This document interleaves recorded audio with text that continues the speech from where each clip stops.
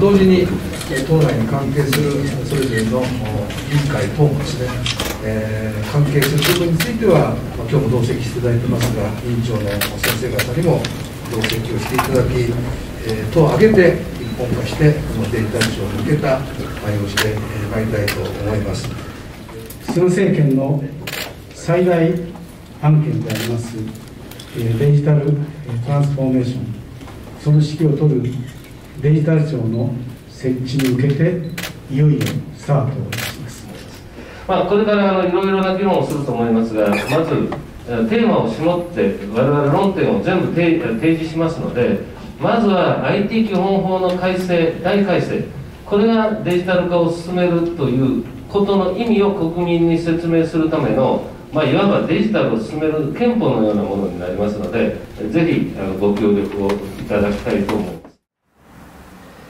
えー、平井拓也です、えー、今日は自由民主党の、まあ、第1回、えー、デジタル社会推進本部の会合に担当大臣として出席させていただきました、えー、政調会長が本部長そして、えー、甘利先生が座長そして、まあ、各デジタルに大変造形の深い若い先生方また各分野の責任者の皆さんも全て出席して多くの意見をいただきました。